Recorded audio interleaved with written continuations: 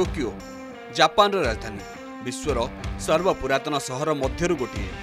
ବିଶ୍ୱ କ୍ରୀଡ଼ା ମହାସମର ପାଇଁ ପ୍ରସ୍ତୁତ ହୋଇଛି।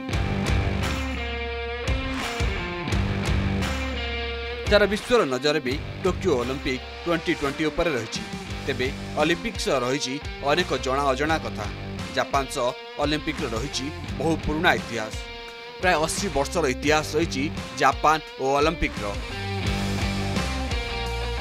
ଉଣେଇଶହ ଚଉଷଠି ମସିହାରେ ପ୍ରଥମ ଥର ପାଇଁ ଆୟୋଜିତ ହୋଇଥିଲା ଜାପାନରେ ଅଲିମ୍ପିକ୍। ସମର ଅଲିମ୍ପିକ୍ ଆୟୋଜନ ପାଇଁ ଜୁଲାଇ ଅଗଷ୍ଟକୁ ଭଲ ସମୟ ଭାବେ ଧରାଯାଏ ଏବଂ ପ୍ରତିଥର ଏହି ଦୁଇ ମାସରେ ହିଁ ଆୟୋଜନ ହୋଇଥାଏ।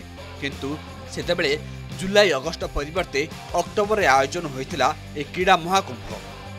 ଟୋକିଓ ଅଲିମ୍ପିକ୍ ଟ୍ୱେଣ୍ଟି ଟ୍ୱେଣ୍ଟି ଆୟୋଜନ କରି ନୂଆ କୀର୍ତ୍ତିମାନ ସ୍ଥାପନ କରିବାକୁ ଯାଉଛି ଜାପାନ। ଟୋକିଓ ଏସିଆ ମହାଦେଶର ଏକମାତ୍ର ସହର ହେବାକୁ ଯାଉଛି ଯିଏ ଦୁଇ ଦୁଇଥର ଅଲିମ୍ପିକ୍ର ଆୟୋଜନ କରିବ। ସମର ଅଲିମ୍ପିକ୍ର ଦୁଇ ସପ୍ତାହ ପରେ ପାରା ଅଲିମ୍ପିକ୍ ଆୟୋଜନ କରିବ ଟୋକିଓ। ଅଗଷ୍ଟ ଚବିଶରୁ ସେପ୍ଟେମ୍ବର ପାଞ୍ଚ ମଧ୍ୟରେ ଖେଳାଯିବ ସମସ୍ତ ମ୍ୟାଚ୍। ଏଥିସହ ଦୁଇଟି ପାରା ଅଲିମ୍ପିକ୍ ଆୟୋଜନ କରିବାର ବିଶ୍ୱର ପ୍ରଥମ ସହର ହେବ ଟୋକିଓ। ଦ୍ୱିତୀୟ ବିଶ୍ୱଯୁଦ୍ଧ ପାଇଁ ଅଲିମ୍ପିକ୍ ଆୟୋଜନକୁ ବନ୍ଦ କରାଯାଇଥିଲା। ଯଦି ବିଶ୍ୱଯୁଦ୍ଧ ହୋଇନଥାନ୍ତା ତେବେ ଜାପାନ ଚଳିତ ବର୍ଷ ତୃତୀୟ ଥର ପାଇଁ ଅଲିମ୍ପିକ୍ ଆୟୋଜନ କରିଥାନ୍ତା। ଉଣେଇଶହ ଚାଳିଶ ମସିହାରେ ଅଲିମ୍ପିକ୍ର ଆୟୋଜନ ଜାପାନ କରିଥାନ୍ତା କିନ୍ତୁ ବିଶ୍ୱଯୁଦ୍ଧ ପାଇଁ ତାକୁ ସ୍ଥଗିତ ରଖାଗଲା। ଏହାପରେ ପୁଣି ଥରେ ଉଣେଇଶହ ଚଉଷଠି ମସିହାରେ ଜାପାନକୁ ଅଲିମ୍ପିକ୍ ଆୟୋଜନ କରିବାର ସୁଯୋଗ ମିଳିଥିଲା।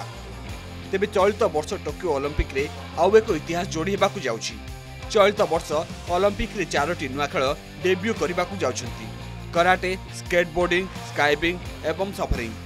ଦୁଇହଜାର ଆଠରୁ ବାଦ୍ ପଡ଼ୁଥିବା ବେସବଲ୍ ଏବଂ ସ୍ପୋର୍ଟବଲ୍ ମଧ୍ୟ ଟୋକିଓ ଅଲିମ୍ପିକ୍ରେ କମ୍ବ୍ୟାକ୍ କରିବାକୁ ଯାଉଛି।